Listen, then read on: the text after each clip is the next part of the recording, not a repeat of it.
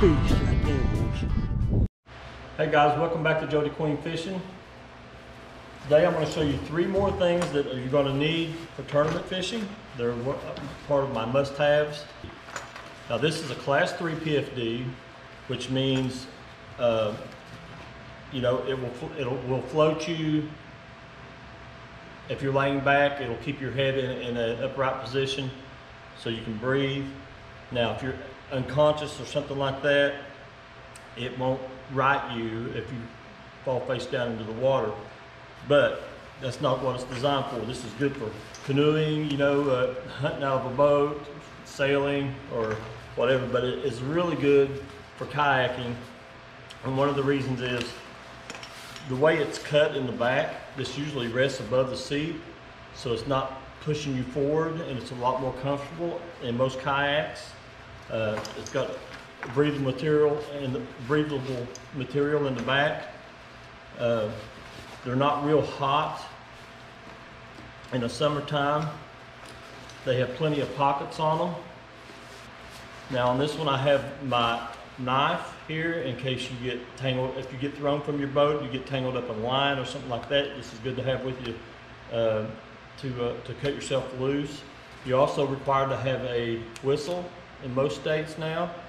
Uh, this is so you can be located or you can send out a warning.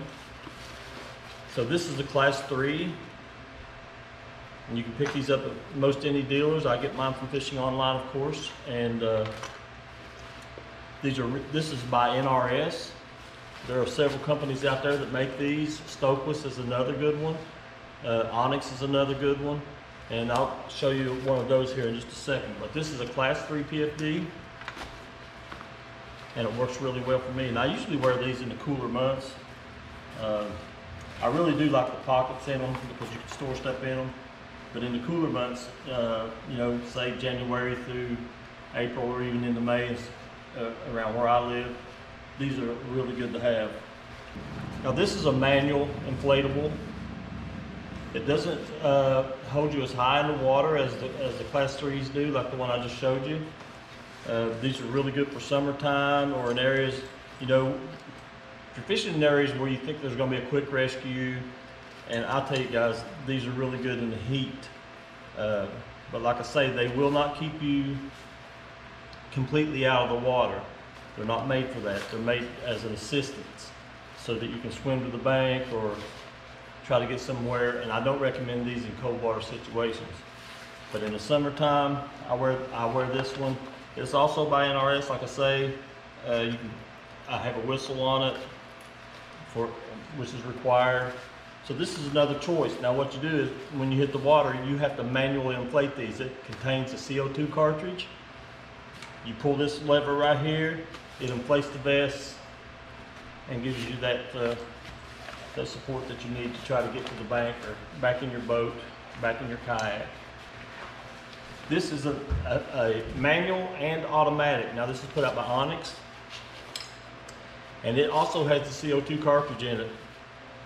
However, it also has a dissolvable tablet in it so that if it gets wet, it will automatically inflate. So if you fall in to the water, it will uh, inflate automatically.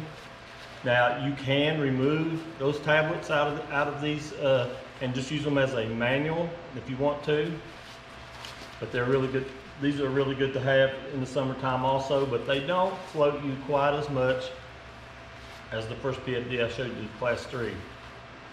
Um, like I say, I think they're more toward assisting you to get out of the water. Uh, they will help float you. But if you're a big guy, you know, 200 pounds or plus or something like that, I mean, it's, it's just an assist.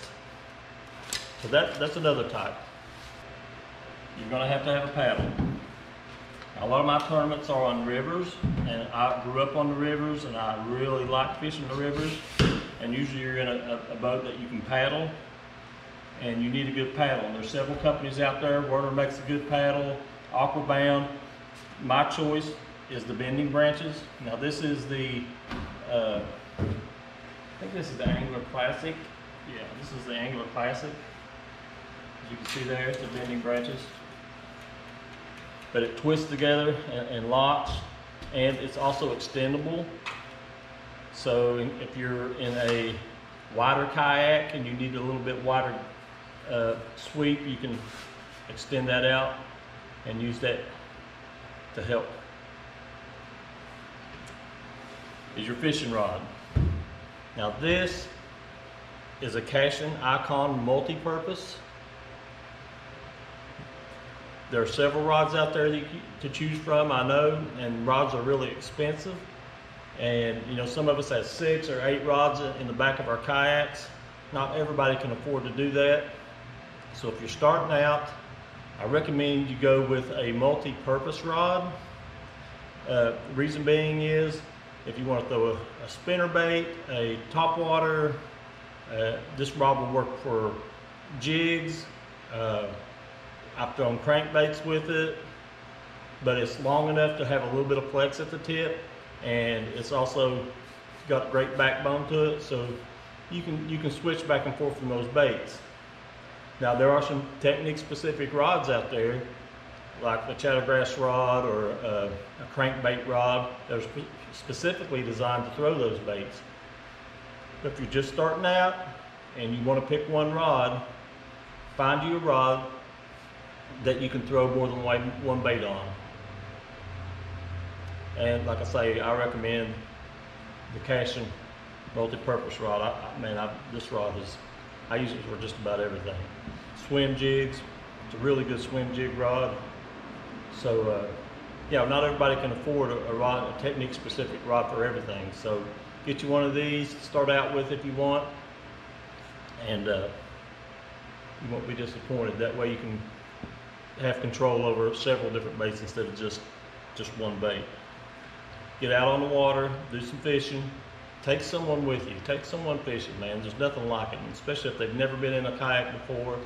Uh, a child, uh, a veteran, uh, your family. Get them out and let them experience the outdoors in a kayak. It's just like floating on air when I get on the water. It's one of the first reactions I get when I take someone. And uh, always be safe. Wear your PFD so you can continue to get out on the water. Uh, I appreciate you guys. Please subscribe to my channel and hit the like button. Leave any comments you like. I'll try to get back with you as soon as possible. And until next time, thanks for tuning in to Jody Queen Fishing. See you guys on the water.